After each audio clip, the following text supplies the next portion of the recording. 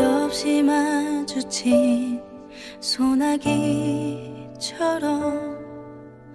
아무 말도 없이 울다가 나지막히 꺼내본 작은 고백의 말들 너에게 우스워 보였었겠지